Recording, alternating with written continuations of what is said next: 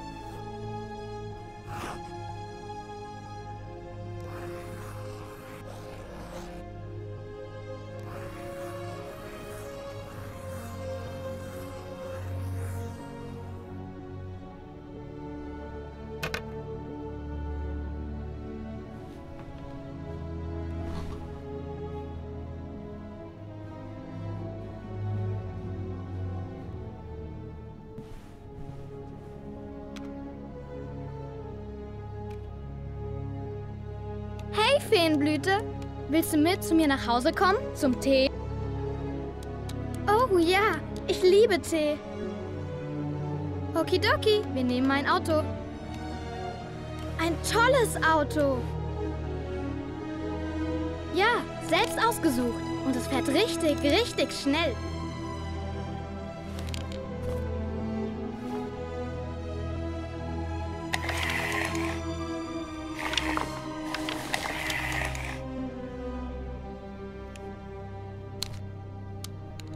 Sind da, na gut, dann los, hier lang.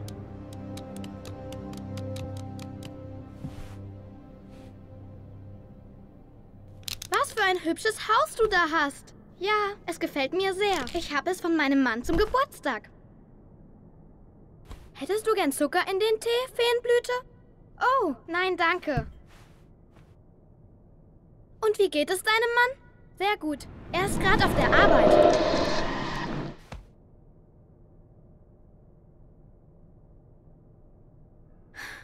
Er ist ja so hübsch. Lass das, Aiden. Du weißt doch, dass ich nicht mehr mit dir spielen will.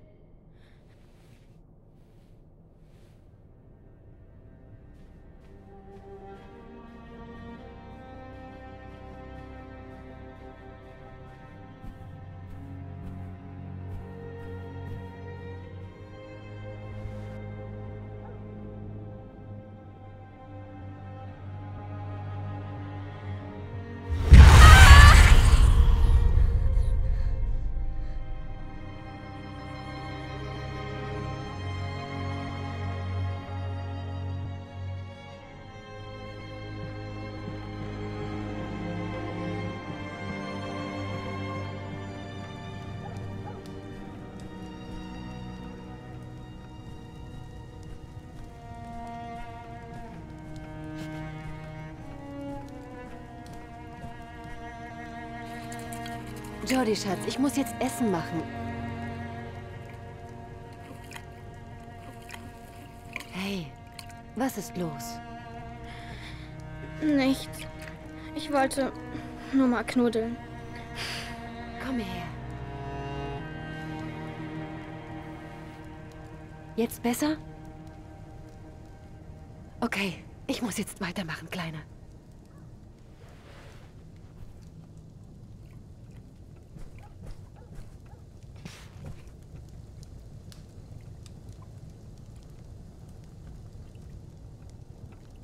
Kriege ich einen Keks?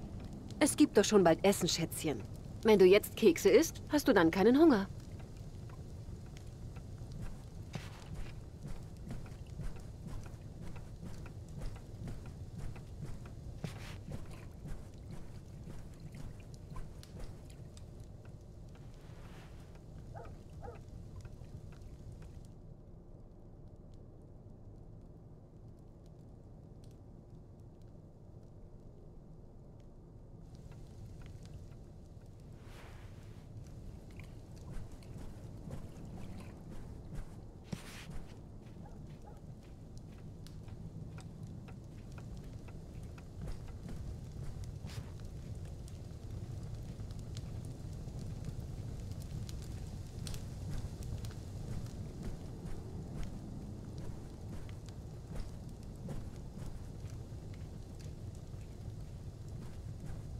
Jody, Schätzchen, tust du mir einen Gefallen?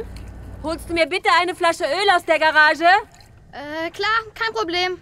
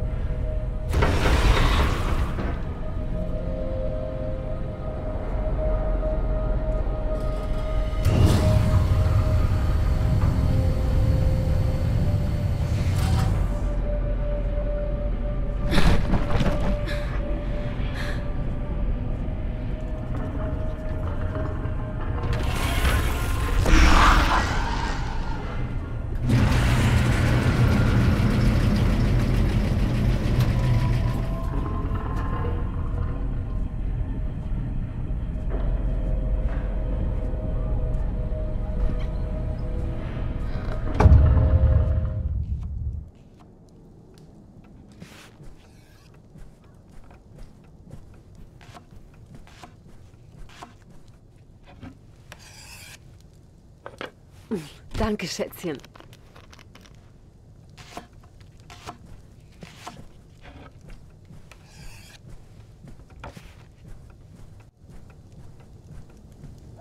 Hey, Schätzchen. Warum gehst du nicht draußen spielen? Ich rufe, wenn es Essen gibt.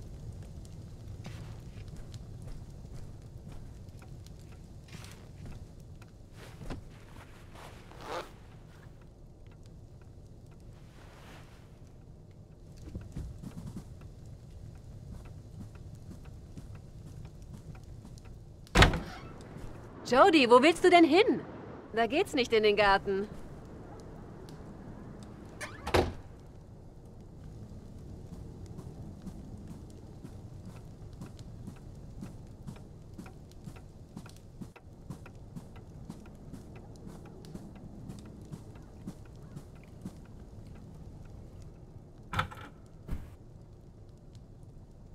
Ich gehe ja schon.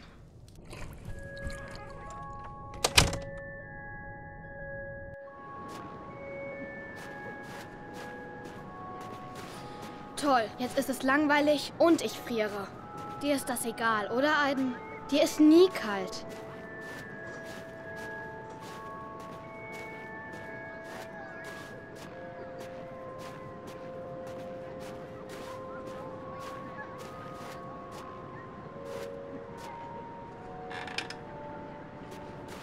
Schubst du mich an, Aiden?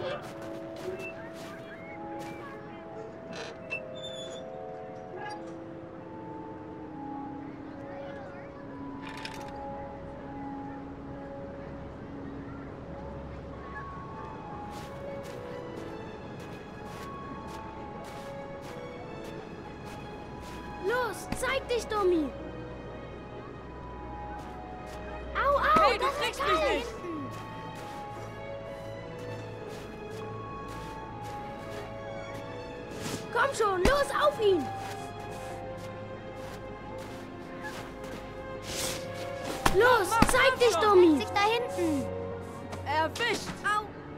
Ich glaube, jetzt haben wir doch noch Spaß. Wirst du bereuen, Fiesling. Das! Okay, ich weiß, wir sollen hier bleiben. Los, wir spielen fünf Minuten, dann kommen wir wieder. Mama merkt das gar nicht.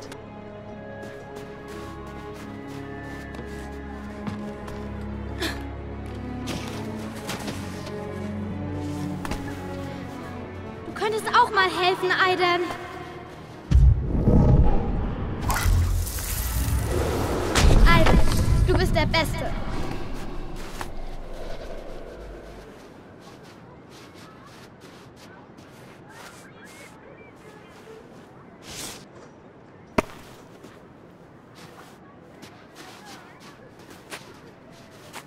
Hey Jody, willst du mitspielen? Komm, mach schnell, versteck dich. Du wirst sonst eingeseift.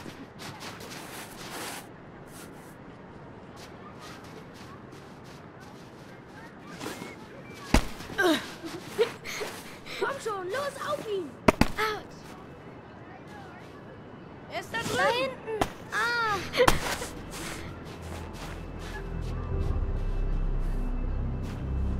Komm schon, los auf ihn! Erwischt. Ah, er hat mich. Ah!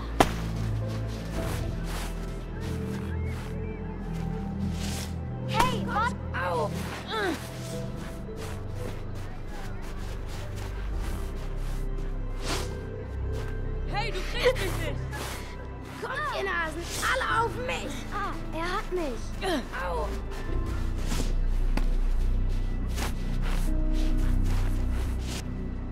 Schon, los auf ihn!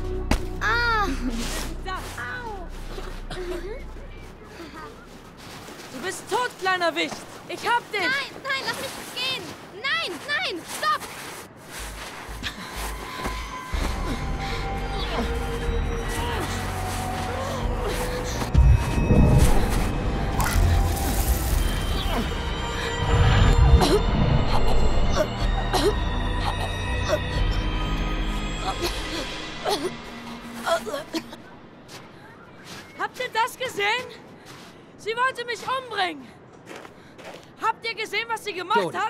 Sie ist eine Hexe. Eine fiese, doofe Hexe. Was ist hier los? Sie ist eine Hexe. Ich schwör's euch. Jodie Holmes ist eine Hexe. Komm mit, komm mit. Wir gehen heim. Komm, komm mit. Geh jetzt ins Haus. Was ist los? Warum warst du auf der Straße? Du weißt, dass du das nicht allein darfst. Die anderen haben gespielt. Ich, ich wollte nur mitmachen. Was hast du mit diesem Jungen gemacht? Philipp, Ich habe gar nichts gemacht. Aiden war es. Er wollte mich nur beschützen. Er wollte... Mir reicht's jetzt wirklich mit deinen Ausreden. Jody, Nein, diesmal gibt es nein. richtig Ärger. Philipp, nee.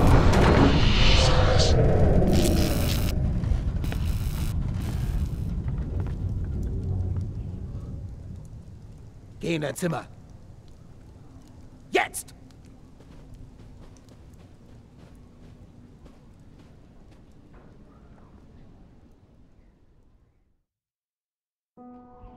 Versuch zu schlafen, Schätzchen. Morgen früh sieht alles anders aus, glaub mir.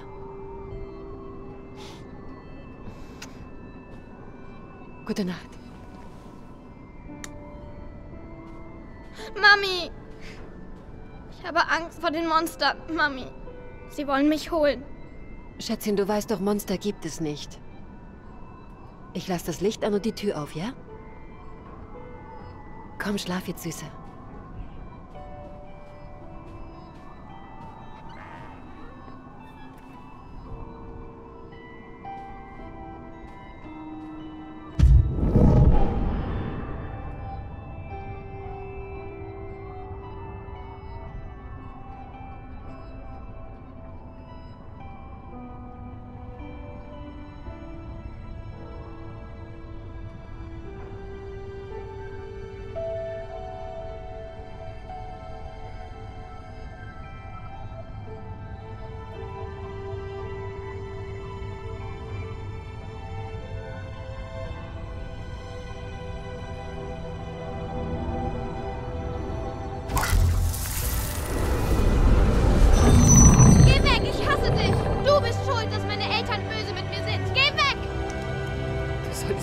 Anschreien, Philipp.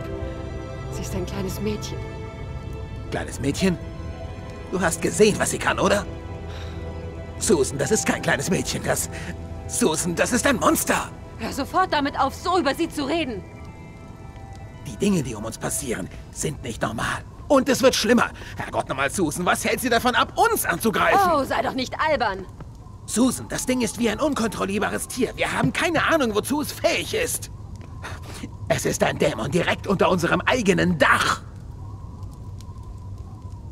Susan, damit ist jetzt Schluss. Und zwar jetzt sofort, bevor wir beide krank sind oder tot. Wir wollten uns um ein kleines Mädchen kümmern, Susan, aber nicht sowas. Nicht sowas.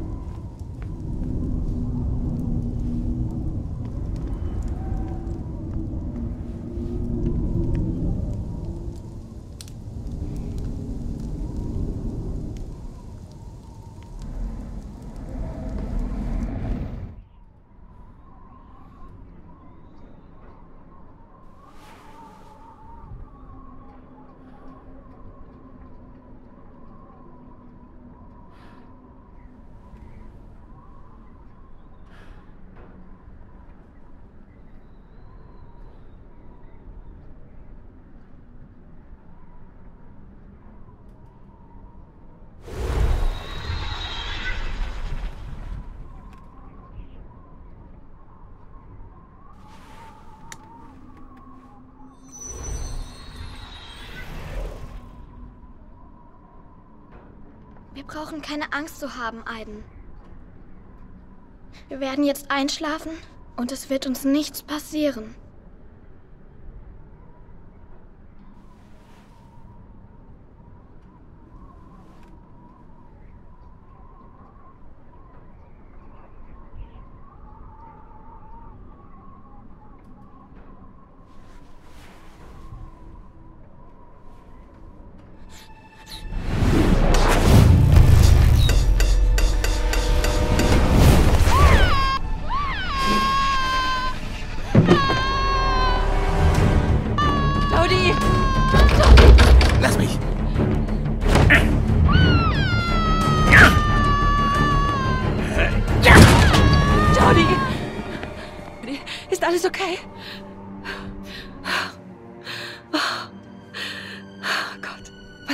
Passiert, Schätzchen?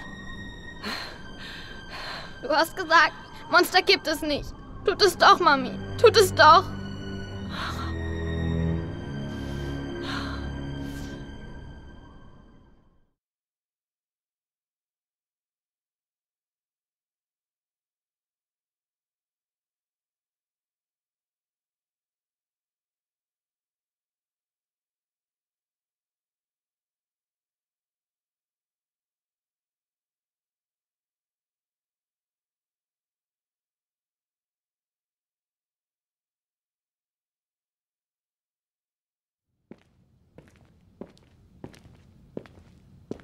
Jody, wach auf.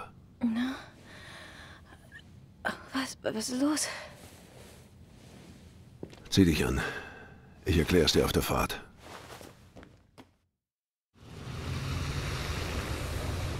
Die DPR hat ein Programm zur Erforschung der anderen Seite gestartet. Die Infrawelt nennen sie es. Sie haben einen Kondensator, eine Maschine, die eine Kluft ins Jenseits öffnet. Sie haben ein Portal geöffnet? Zu Aidens Welt? Letzte Nacht ist was passiert. Existenzen kamen durch die Kluft und der Kondensator ließ sich nicht runterfahren. Alle im Gebäude wurden getötet. Keins der Rettungsteams kam zurück. Sie wollen, dass du ihnen hilfst und ich sagte ihnen, dass du ja noch ein Kind bist und es ist viel zu gefährlich. Aber sie wissen, dass nur du mit dem fertig wirst, was jenseits dieser Kluft liegt.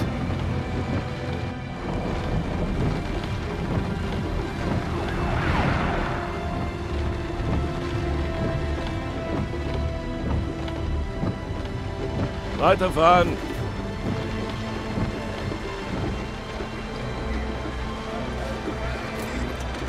Jody, wenn du es nicht machen willst, dann sag's. Und wir fahren zurück. Das ist okay.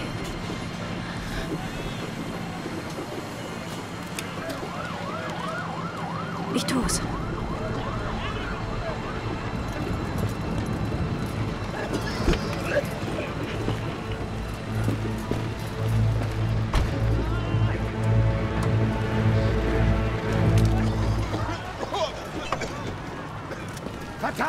Nathan! Das ist Wahnsinn! Du kannst sie nicht da reinschicken! Was denkst du dir? Du verstehst das nicht. Sie ist die Einzige, die das beenden kann. Gibt es irgendwelche Informationen von drin? Irgendwas? Ist das die Kleine? Verzeihung. Sie können hier nicht durch. Sie kann durch. Oh, Entschuldigung. Wirklich? Das ist ein Albtraum. Das hat alles keinen Sinn. Okay, dann mal aufwachen. Wir haben alles vernichtet. Es irgendwelche Infos? Das bloß.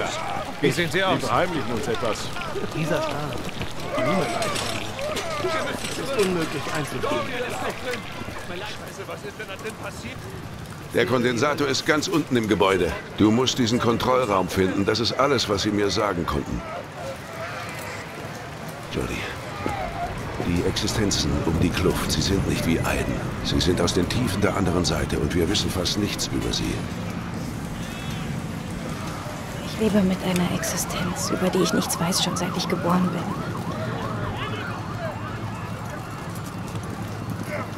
Ich schaff das. Keine Sorge, ich habe nicht vor zu sterben.